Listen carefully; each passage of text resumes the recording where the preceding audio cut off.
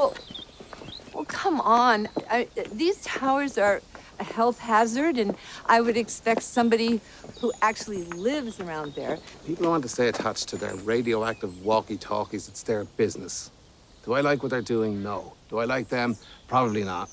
Do I respect their right to do as their little shallow hearts desire? I most certainly do. So, no, I don't care. And if I were a betting man, I'd wager now that you don't really have a dog in this hunt either. I beg your pardon, you don't know me. You clearly do know me and where I live. I, no, I am the one. I called the police. What? Yes, the other night.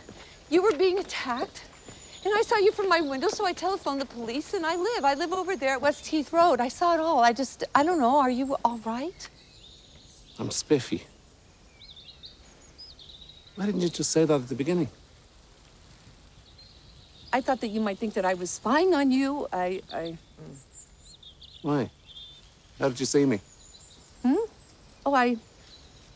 I was at the attic window with my binoculars.